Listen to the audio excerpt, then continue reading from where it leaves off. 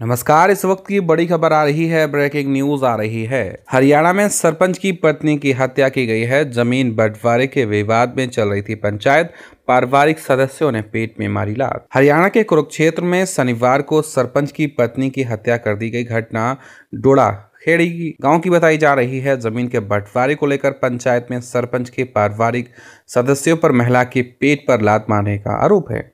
मारपीट में सरपंच अनिल को भी चोट लगी है। दोनों को एलएनजेपी अस्पताल में भर्ती कराया गया था। इलाज के दौरान महिला की मौत हो गई है। मृतक की पहचान यशोदा 28 वर्षीय के रूप में हुई है।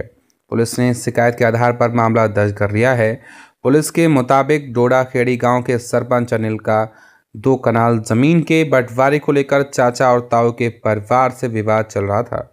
शुक्रवार को ज़मीन की निशानदेही भी कराई गई थी। इसी को लेकर शनिवार को गाँव में उनकी पंचायत चल रही थी। इसी दौरान परिवार में भाई लगने वाले अशोक कुमार और उसकी पत्नी सरपंच अनिल के परिवार के साथ मारपीट करने लगे।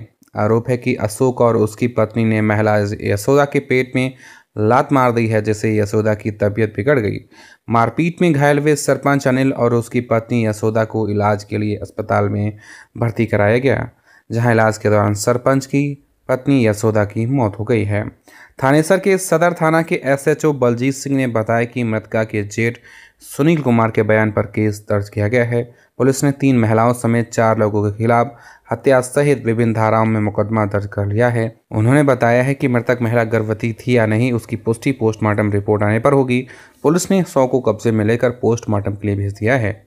तो जी हाँ ये बड़ी खबर है। ब्रेकिंग न्यूज़ आ रही है।